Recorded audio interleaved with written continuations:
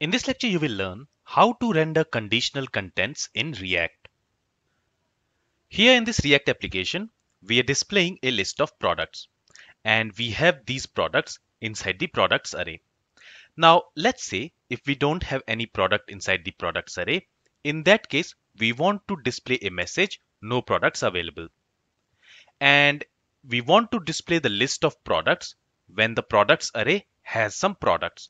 For example, currently this products array has some products. So it is displaying all those products here in the web page.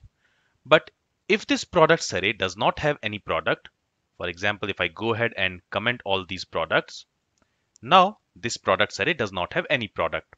Okay, so this products array is empty. If I save the changes, if I go to the web page and if we refresh the page, no product is being displayed here in the web page. That's because in the products array, we don't have any product. So in such case, what I want is I want to display a message, no products available. So here we basically want to render a content conditionally. Let's see how we can achieve this. Let's go back to VS Code.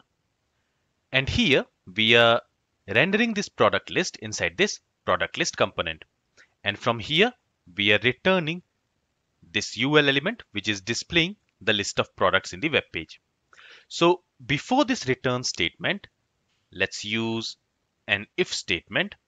And here let's check if this props dot new product list, if its length, if it is equal to zero, in that case, we want to return an h3 element.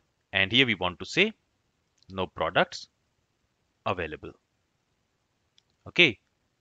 Otherwise, if the length is not equal to 0, in that case, we want to return this content.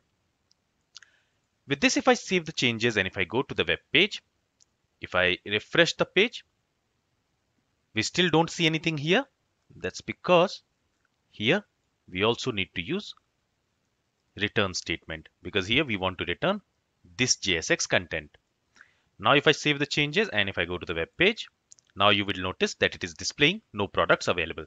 But if I go back to app component and if I uncomment these products and now if I save the changes, it should display those product list. If I refresh the page, you will notice that it is displaying that product list.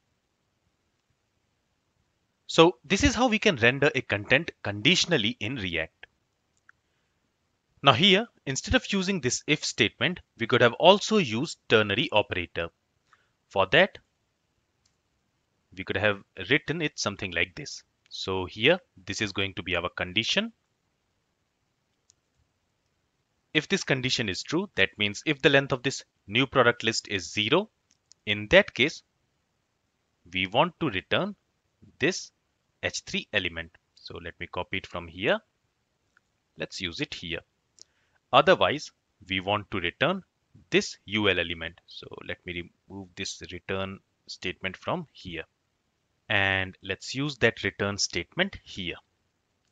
Okay, so here we are using ternary operator. Here, first we are checking this condition. If this condition returns true, that means if the length of this new product list is 0, in that case it will return this h3 element. Otherwise, if the length of this new product list, if it is not 0, if it is greater than 0, in that case, this UL element will be returned. Let's see that. Let's save the changes here. And currently, here in this products array, we have some products. So if I go to the web page and if I refresh the page, you will see all those products listed here in the web page. But if I go back to VS Code and if I comment these products again, and if I save the changes, now it should display no products available as you can see here. So you can also use ternary operator like this. So this is how you can render conditional content in React.